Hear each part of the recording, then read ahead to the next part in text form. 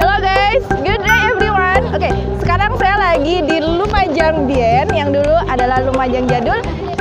Oke, okay, jadi di sini kita akan melihat bagaimana nuansa Lumajang zaman dahulu. Ada permainan tradisional, makanan tradisional dan hal-hal lainnya. Pengen tahu lanjutannya? Kita saksikan ke dalam.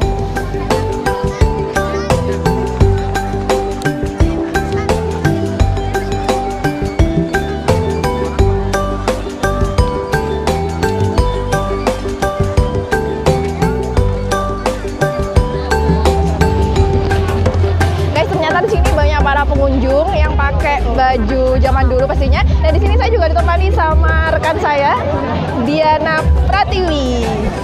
Mungkin bisa diceritakan apa yang Anda rasakan di suasana ini? lumayan rame di sini pengunjungnya lumayan membuat suasana menjadi semakin ramai sehingga lumayan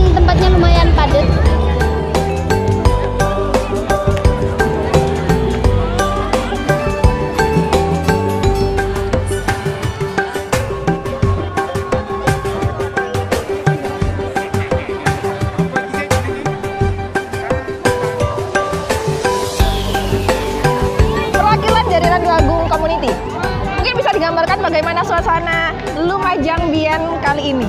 Judulnya udah beda ya, dulu Lumajang Jadul. suasananya kayak lebih ramai ketimbang tahun yang kemarin ya Mbak. Iya.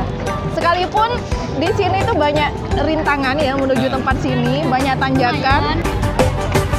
Oh, mungkin di sini juga bisa mengenalkan beberapa wisata alam di Desa Guci Alit pastinya.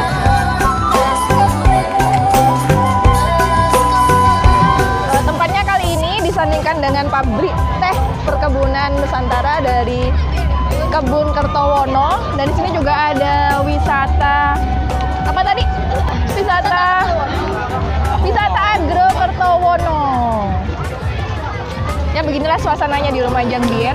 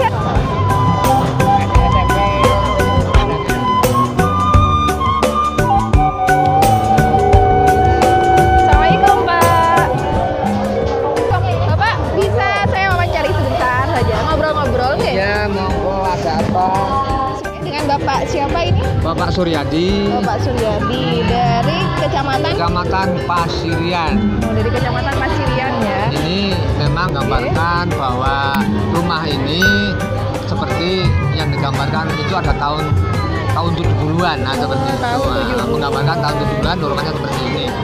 Oke. Sesuai dengan tema dari eh, acara ini yaitu Oke. rumah Lumajang Bien. Zaman Bien seperti itu ya. Oke, oke.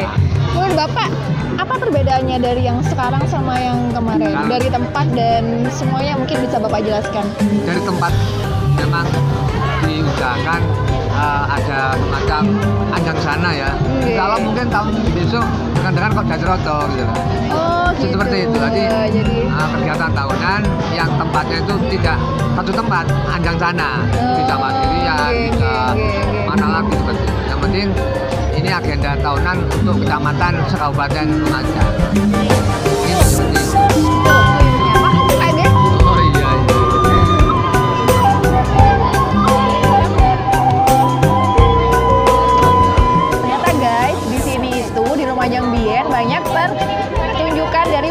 Barang atau benda-benda antik dari tahun 1970-an, khususnya di Kecamatan Pasirian.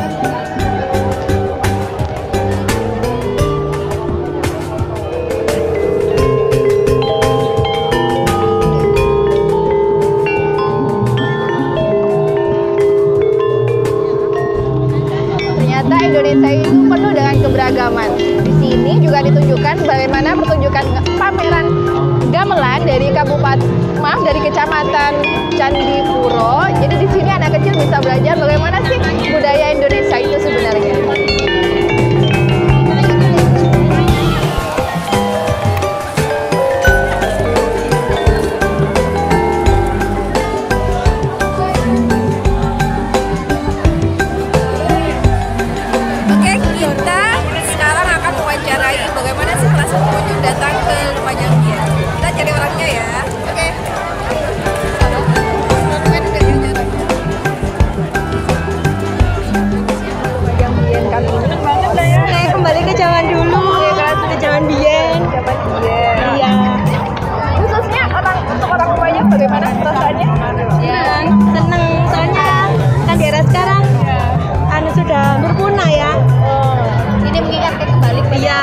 pada masa lalu.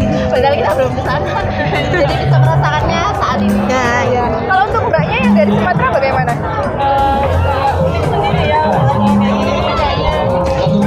Mungkin aku lebih ke tradisionalnya kan aku saya juga pendatang di sini. Jauh sebelum tahu sekali ada tetap sekali untuk mengikuti Asik jadi berkat acara ini orang-orang kota Jawa itu bisa tahu bagaimana sih eh, zaman dulu di daerah Jawa. Eh, bagaimana perbedaannya da- di jam apa Lumajang Tempo dulu yang di KWT sama yang di sini? Lebih bagus ini. Oh, lebih bagus ini Iya. Udaranya juga lebih sini ya. Cuman ada sedikit ya. Sama.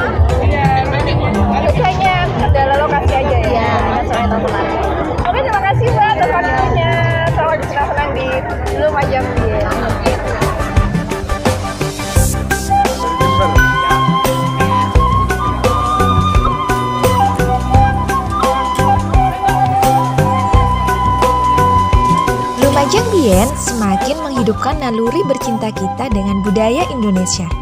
Mulai dari kesenian daerah, permainan tradisional, dan jajanan khas zaman dulu. Mari terus semangat merawat Indonesia, kalau bukan kita, siapa lagi? Sampai jumpa di Lumajang Bien tahun depan yang pastinya bakal lebih meriah lagi. Dan jangan lupa like and subscribe video ini ya guys. See you next time.